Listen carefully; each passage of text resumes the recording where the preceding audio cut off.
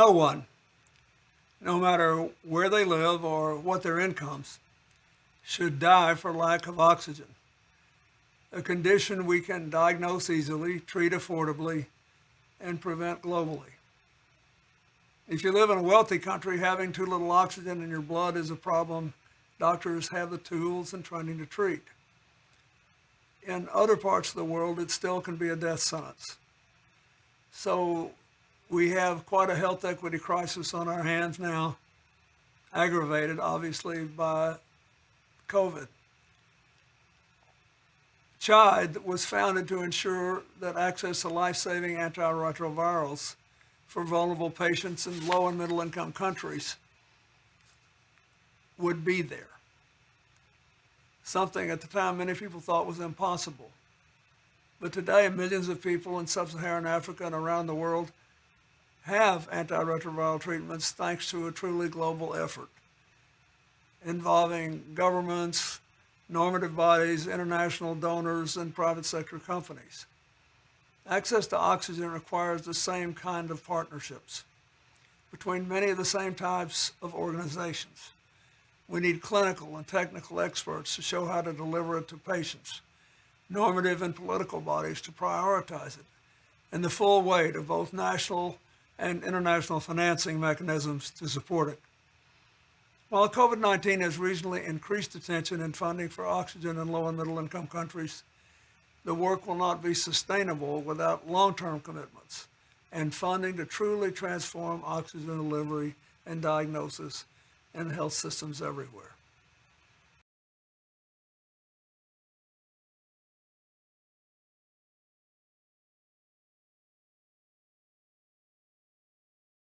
Today we're very fortunate to be joined with by three experts who will discuss this issue and then I'll ask a few questions and hope to shed more light than heat. Let me first introduce Dr. Anthony Fauci, who needs no introduction as he has been the face of our sane efforts against COVID for more than a year now the director of the National Institute of Allergy and Infectious Diseases at our U.S. National Institutes of Health. Dr. Fauci, thank you. The floor is yours. Thank you very much, Mr. President. It's really a great pleasure and an honor to be here with you and to with our distinguished panelists. Um, I was reflecting when I was asked to be part of this panel that in my now over 40 years of which I have been um, involved in the response to outbreaks, uh, including HIV, Ebola, SARS, and now COVID-19.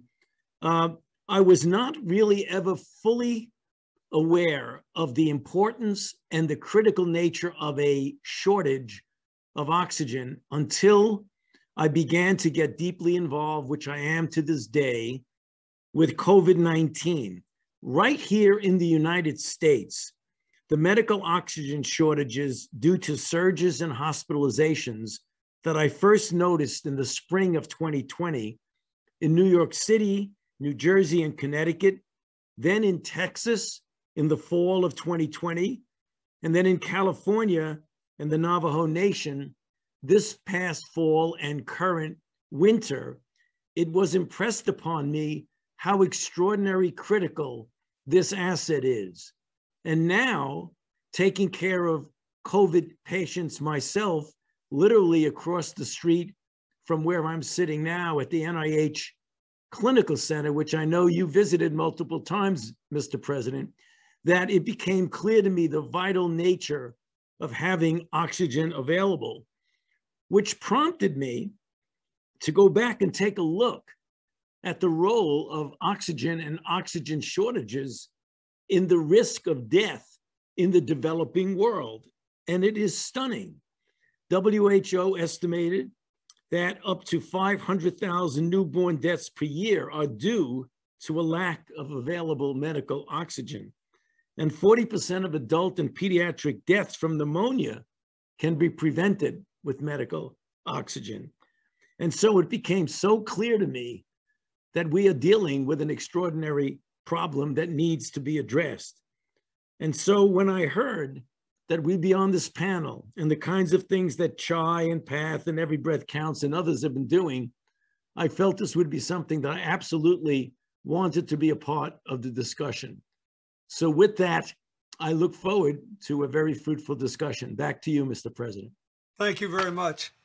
Uh, now I'd like to recognize Dr. John Nkengasong, the Director of Africa Centers for Disease Control, who has a long and distinguished career uh, in his native land, his native continent, and in Europe and the United States. We thank him for being here and for what he's doing. And I open the floor to you, sir. Thank you. Thank you, Mr. President. Good evening uh, to all from Addis Ababa and specifically from the Centers for Disease Control and Prevention in Ethiopia. My warmest greetings to everyone on today's panel, including President Clinton, uh, Dr. Fauci, and my friend Joy for uh, this uh, joining us on this panel today to discuss this important aspect. I would like to first thank the President and the Clinton Health Access Initiative for the opportunity to discuss this very important need, that is the global oxygen supply gap. Uh, this has been and continues to be one of the many challenges facing health institutions across Africa, which have been exacerbated by the ongoing COVID-19 pandemic, as Dr. Fauci mentioned. During the current pandemic, we have seen extraordinary need for oxygen across Africa, placing a larger burden on health systems on all African Union member states. Through Africa, uh, uh, though Africa has been relatively less hit than other parts of the world, carrying about 3.5% of the world's COVID reported cases, the continent continues to struggle with securing and sustaining the necessary oxygen due to the uh, several factors. First of all, one of the main challenges we are seeing include proper investment and funding for oxygen plants. Prior to the COVID-19 pandemic, there were just 68 oxygen generating plants on the continent of Africa, a continent of 55 member states with 1.2 billion people. According to the World Health Organization, uh, the number anyway has increased since then to about 119 oxygen generating plants. That is represents an increase of 40%. Though the increase is promising, challenges continue to be, maintained, including the ability to maintain those oxygen plants across the continent and to uh, uh, provide continuous and predictable financing uh, to support them. As my friend uh, uh, Githinji from the AMREF puts it, the issues of underfunding and inefficiencies of the health sector, whereby if hospital needs to procure oxygen refuse, the procurement processes become prolonged and the necessary oxygen supply doesn't arrive on time, resulting to fatal consequences for our patients. According to the World Health Organization, uh, the need for more oxygen on the continent rose by 39% increase during the period in January alone, making the demand for treatment higher than was seen in the first wave of the pandemic. Despite this figure, the many challenges brought on by the pandemic opportunities exist that we must work in partnership to begin to fill these gaps. And we are particularly pleased that there are other foundations trying to come together, rally, work together with the, the Clinton Health Access Initiative to fill this gap. I thank you for the opportunity and I look forward to an exciting discussion. Thank you very much. Finally, I'd like to invite Joy Phumaphi, who recently joined the board of CHAI and who had a very distinguished run as the Minister of Health for Botswana to say a few words uh, from the government perspective. You know, the, a lot of countries are approached by a lot of donors that come in, come out.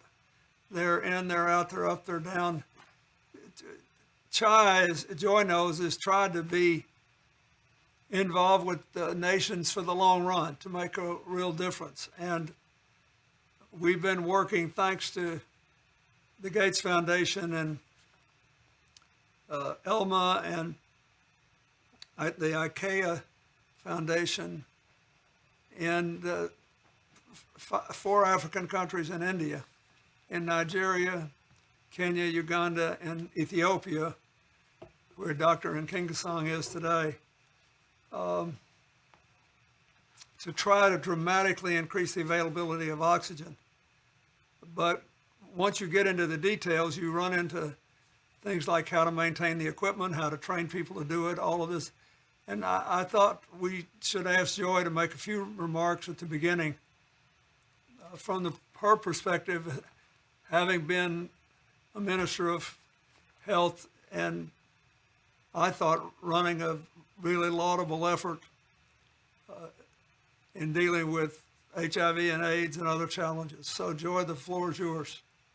Thank you so much, Mr. President. Um, it's really a, a, privilege to have this opportunity to join this panel um, under your leadership together with Dr. Fauci and Dr. Uh, John Nkengasong. Um, you know, oxygen shortage in developing countries, particularly in Africa, um, has been a real, real challenge. Uh, low blood oxygen um, is, a, is a major cause of, um, of uh, deaths. Uh, in fact, uh, 1 million deaths could be avoided um, if, uh, if we, we, we address the, the, the challenge of low blood oxygen. Um, Dr. Fauci already talked about the challenge with newborns, uh, but 16% uh, of under fives that are admitted into hospitals actually suffer from low blood oxygen. And 13% uh, of these children are children who have pneumonia, 10 to 15% are children who have got malaria, meningitis, uh, convulsions, and oxygen is a consistent challenge. One of the biggest challenges as well is a misdiagnosis on failure to actually diagnose uh, uh, patients who have got low blood oxygen. Uh, there is, it is estimated that 80% of the patients with low blood oxygen are actually not diagnosed with low blood oxygen, uh, primarily because of uh, lack of access uh, to a simple way of testing uh, blood oxygen, whereas we do know that there are pulse oximeters, which are very, very simple tools which can be used. So the first thing is the diagnosis, the misdiagnosis. And then the next is the lack of access to oxygen. One of the biggest challenges I faced when I was a minister was uh, trying to make enough oxygen available for the patients whom we had already diagnosed as needing uh, oxygen without uh, pulse oximeters. That is, uh, patients whom we diagnose just by, you know, looking at, uh, you know, symptoms, uh, which which uh, leads, as you know, to 40% failure in, in in in diagnosing. So we we um, I, I was constantly challenged with the lack of oxygen, and and this is a, a challenge which faces ministers consistently. And uh, so one of the most important interventions that are required right now is, is to, uh, to improve oxygen administration practices. First of all, you need policy change. You need, a, you need to update clinical guidelines and protocols, and then you need to update the patient charts and registered, and you need uh, equipment maintenance, but you also need to train your health professionals on how to uh, diagnose and how to and equip them with with uh, the pulse oximeters. Um, and, and, then there's also the markets and the financing issue. So what what I would strongly like to propose, and something that has already been proposed by other partners, is a roadmap that that the partners such as uh, CHAI could then use uh, to support countries. Partners such as uh, Unitaid that we have heard of about uh, heard about earlier on could also use to to support to support countries.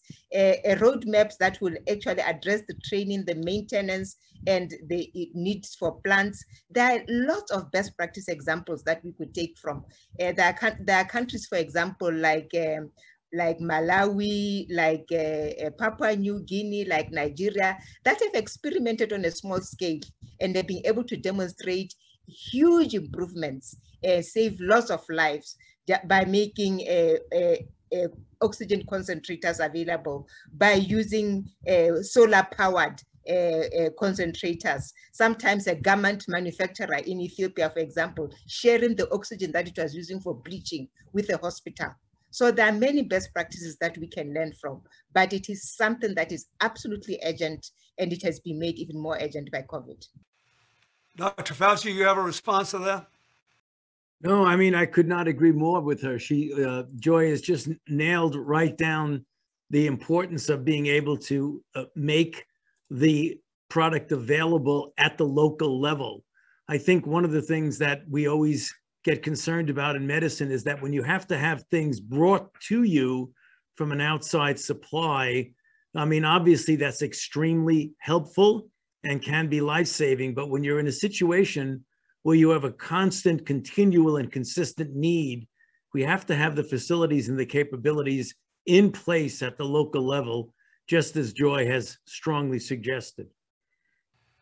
Dr. Nkengasong, do you have anything to say about that? I, one of the things that strikes me, let me just make up, is that this really is like a lot of other things CHAI's dealt with. We need to, yes, we need donors to give money to buy oxygen, but there has to be an infrastructure there. People have to be trained on the use, maintenance of the equipment, the distribution, the follow-up. Uh, so what, from your point of view, what should be the funding source to give oxygen to everybody? I mean, I realize we can ask all these groups, uh, Unitaid and all the foundations and the usual suspects to give money, but how should it be funded and organized so that we get maximum benefit with whatever money we have?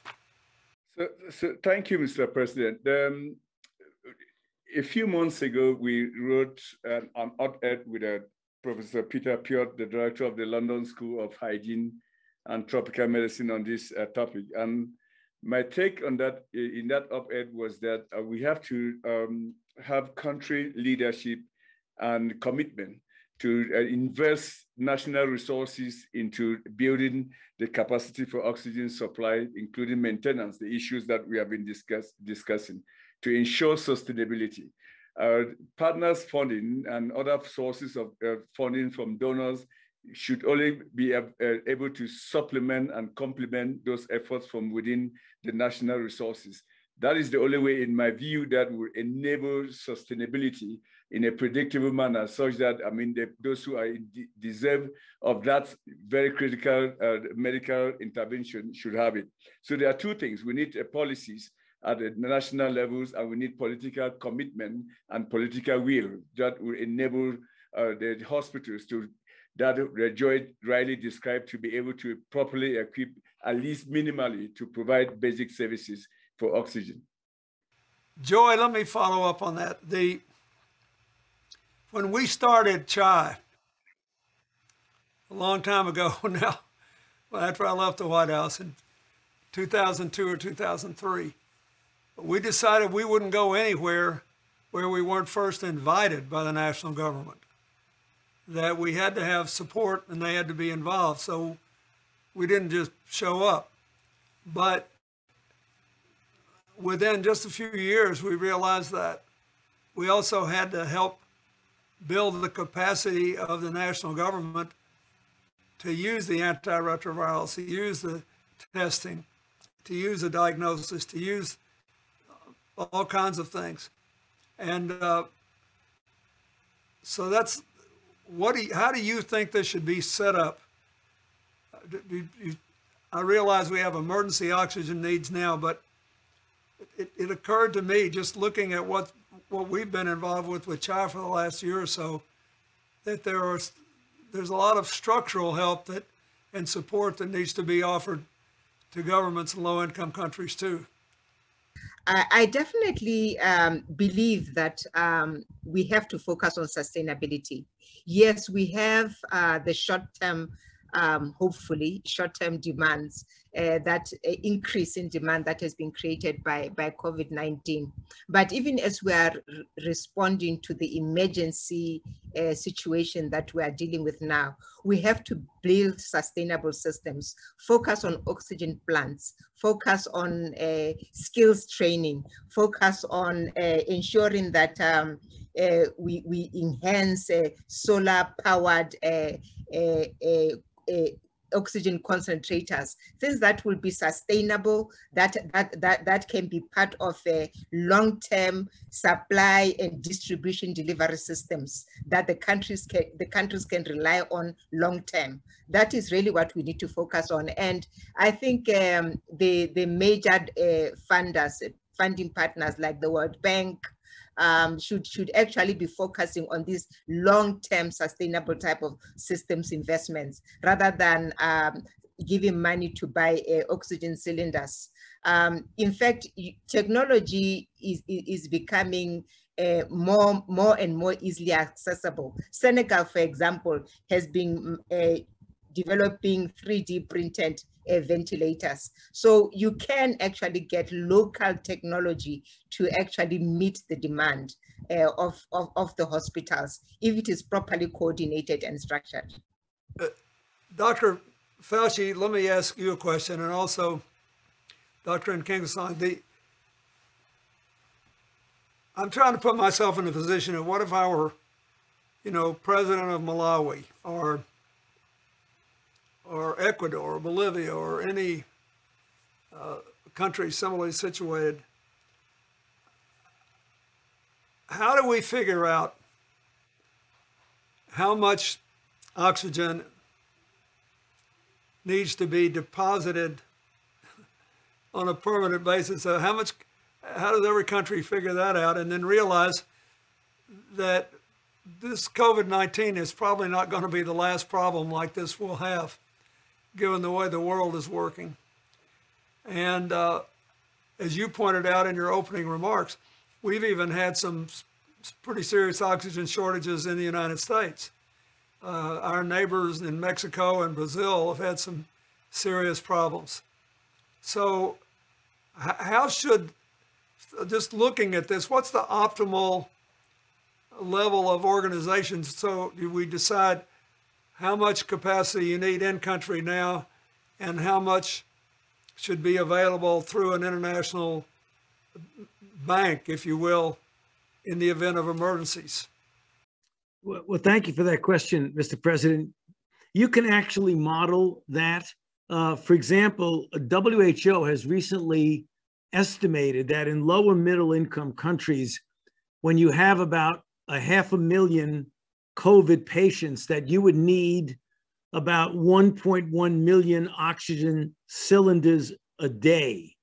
So if you can do that, you can project by what you think the current and future surging, for example, with COVID or with any disease. You could do the same thing with malaria and you could do the same thing with tuberculosis. So I think that's one of the ways that we can get the ministers in the countries to do that. Um, I just want to also mention one other thing, uh, Mr. President, that I was thinking of when you were asking the questions about um, infrastructure, and Joy spoke about the sustainable infrastructure. I believe research organizations like my own, the NIH, when we go to countries to do studies, that I think sustainable infrastructure building has to be an important commitment. Let me give you an example that I think you'd relate to. During the Ebola outbreak in West Africa, in Guinea, Sierra Leone, and Liberia, we went there to do clinical trials. And what we did is that in order for the uh, individuals, the physicians and healthcare providers in Liberia to adequately take care of the patients and to do a clinical research protocol, we did something besides training. We actually left what it falls under the category of sustainable infrastructure, things like CT scans and other instruments that otherwise you wouldn't want to leave there because you don't necessarily need it for the research. And right now, those same clinics that were totally dependent on us are now self sufficient. if we build in oxygen requirements when we do research there, I think we could help build some of the sustainable infrastructure, which would not really be that expensive. I mean, certainly not expensive as a couple of MRI machines. Dr. John, you have a comment on that? Absolutely. I, I think when there is, uh, first of all, I agree with Joy and uh, Dr. Fauci that we need to quantify the problem, which for now, I will submit that is, is poorly uh, uh understood and actually poorly quantified on the continent until COVID hit the continent. The statistics that I, I mentioned earlier, I can speak to that, that before COVID, as a continent, we had 68 oxygen generating plants across the entire continent of Africa.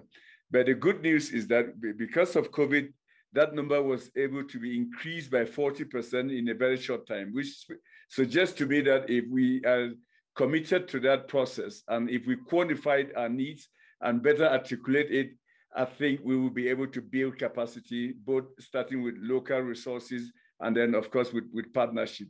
The key thing, as others have said, is that understanding what the problem is and weighing the relative importance of that problem vis-a-vis the other challenges that uh, the countries are dealing with on routine basis. Then now COVID became an emergency, and because of that, it exposed even further the needs for oxy the oxygen facilities and systems to be put in place. So I think this is an opportunity, as I said earlier, to step back as a continent and actually do a proper evaluation of what our needs are and where do we get from point A to point B and what kind of partnerships are required to carry us forward. You know, it seems to me, and correct me if I'm wrong here, but as compared with a lot of the major health challenges we're facing, even within the within the COVID space, where I think there's been an amazing speed of development of the vaccine, and you know we're we need to make sure it's equitably distributed, and we're we're stumbling in that direction. But this problem seems to me to be uh, relatively inexpensive compared to a lot of these other problems we have in the global health system, and and particularly in infectious diseases and other problems that require more oxygen. Uh, why do you think that these oxygen shortages are so chronic? Do you think it's just that it hasn't seemed as important as it is now, that COVID's put this into high relief?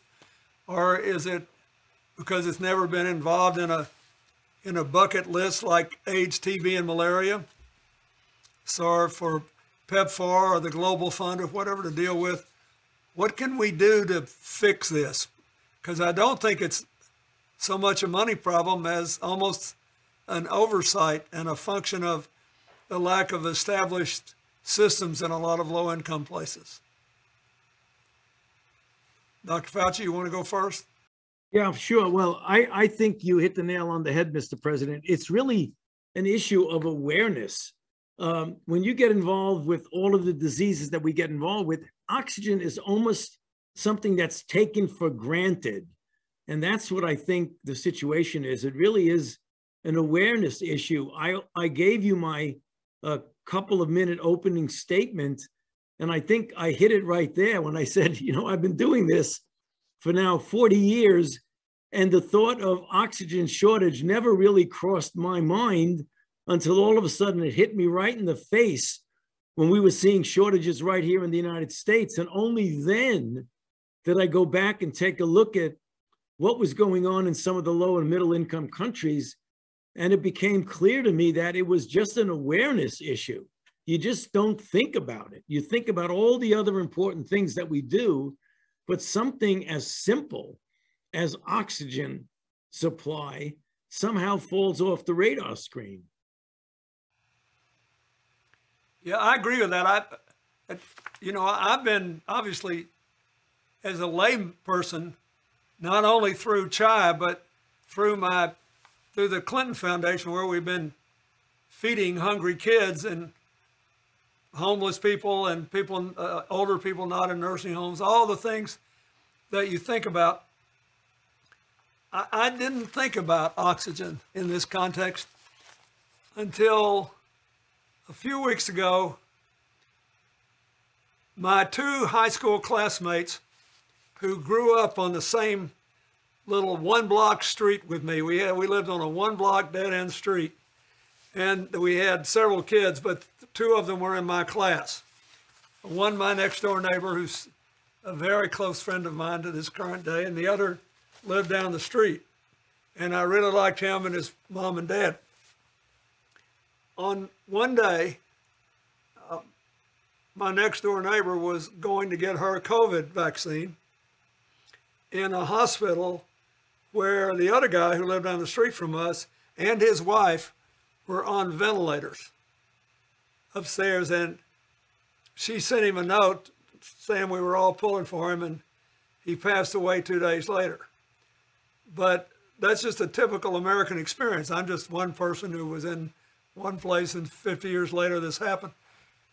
But I never thought about it in a deeply personal way until then. And I think that one of the things we're trying to do with this panel is to make sure everybody's thinking about it. Because we do have really sensitive, smart people who are willing to give money to this. As I mentioned, we had uh, just in the five countries we started in, because that was a third of the known cases in low and moderate income countries of oxygen shortage. We were able to raise quite a lot of money thanks to the Gates Foundation and and uh, Elma and IKEA and and Unitaid, and I'm very grateful. But uh, I hope that all of you doing this will make a difference. Did, does anybody else have anything to say about this? Why you think this has not been prioritized, or whether we could do more to make sure people knew it was a problem? Yeah, I had I just had one comment, uh, Mr. President, that in addition to Dr. Fauci's uh, point that um, it is uh, underdiagnosed and that, uh, you know, sometimes up to 80% of the cases um, are never detected. And, um, but one important factor is that it's a cross-cutting issue. And the consistent problems we have with uh, in health systems and particularly at primary healthcare level, is that when an issue is in is is cross-cutting, it is it is underappreciated because it, it's going to affect children who are suffering from malaria, from pneumonia, children who are suffering from meningitis, convulsions, and newborns. So it is a cross-cutting issue. So it is mis, uh, it, it, it is underestimated primarily because it, it, it, it is in every single sector. So when you look at newborns alone, uh, you, you, you don't miss how you miss how significant it is because you have not factored in the malaria, the, the pneumonia children and the, uh, the convulsions, the meningitis. So I think that is one of the issues that makes it so, so, um, so uh, missed as a, as, a, as a critical issue. And I think another issue is just the lack of tra adequate training in this particular area we don't train our health workers enough for them to be able to appreciate how critical this is uh, for, for, for the various diseases that, that I've just mentioned. Thank you. Dr. Nkengasong, uh, do you, you have anything else to say? Uh, I, I, was saying that we, uh, given the, the computing nature, as Joy mentioned, of other disease burden and other disease uh, um, uh, uh, inadequacies on the continent, there are usually three things that we need to begin to consider here. Sustained advocacy for this particular problem, to me, is very important. And we have to do that at, at multiple levels, as we, we've done for other diseases, including HIV AIDS. Effective partnerships, partnership both including the private sector, philanthropists, and of course, uh, uh, donors is extremely valuable, will be very critical going forward. And lastly, championship. The kind of championship, Mr. President, that you exercise uh, in, in addressing issues related to HIV AIDS, especially access to treatment.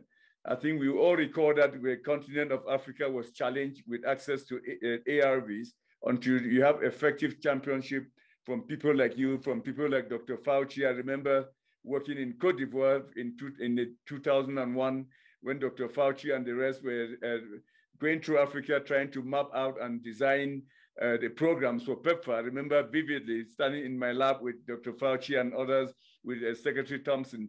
That kind of championship is will be required for us to be able to turn the tides and address this very critical area of, of interest. I think we should wrap up, but I wanted to make one final comment uh, because when you mentioned PEPFAR, it got me thinking about it.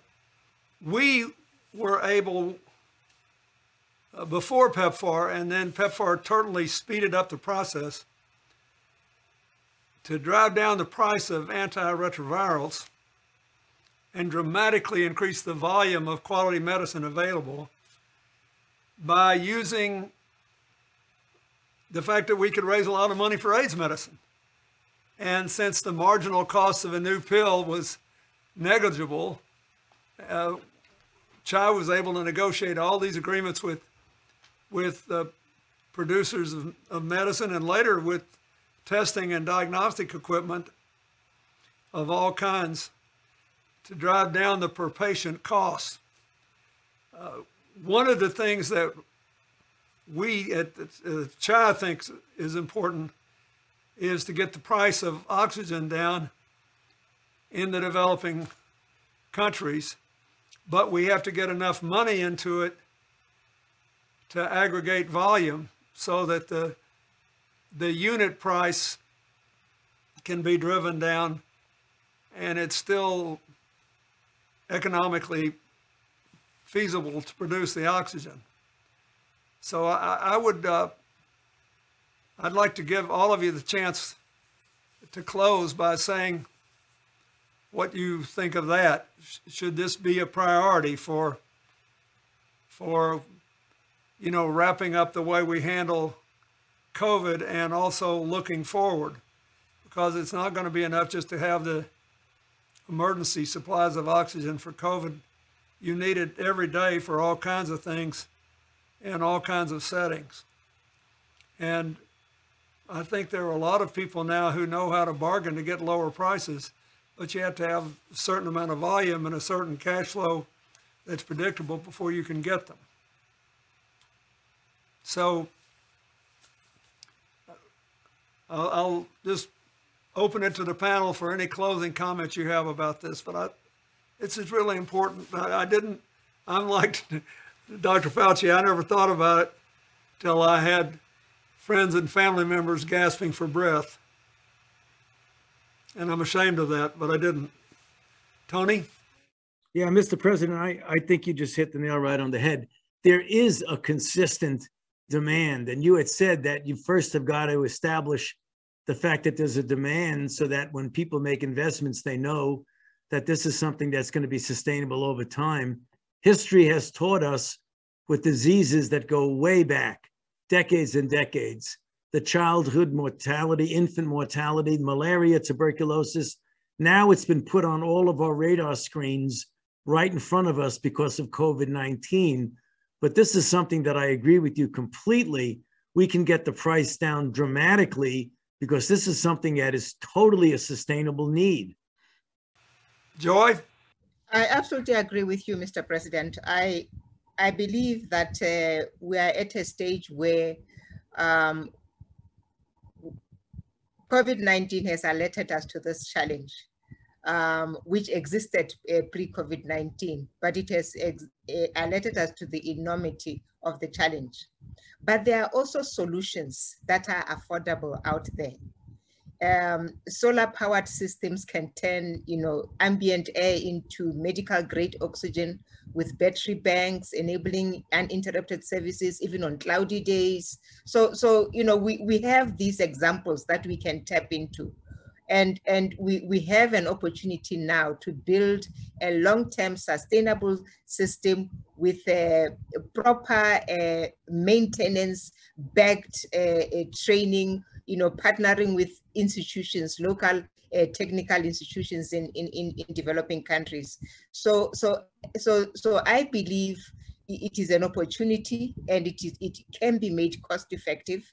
Um, and uh, there is really no excuse for us not to do it because we'll be saving 1 million lives a year. Thank you. Dr. Nkengasong, do you, you have anything else to say? My uh, final remarks, Mr. President, is that sustainability is key. And the, the key elements for that sustainability is local solutions, like Joy just mentioned. I think uh, if we do that and then we build the right partnerships, so then we will be able to achieve the appropriate goals. Well, thank you. I, uh, I want to thank you all so much. I hope we've made a dent in this and I hope your voices will be heard. And, and this is one problem that you won't have to worry about uh, as we hopefully are looking down the on the downhill path on COVID, although I suspect Dr. Fauci believes we still got quite a long way to go and uh, and how disciplined we are and how we open and how we uh, in the United States how we understand what we can and cannot do even when we're vaccinated will determine that. In the meanwhile, we've got people all around the world and in particularly hard hit places at home that need oxygen. And I hope we can get it to them teach people how to take care of the equipment to maximize its longevity, train people to use it efficiently, and get a longer term funding stream. And thank you for helping to support that goal.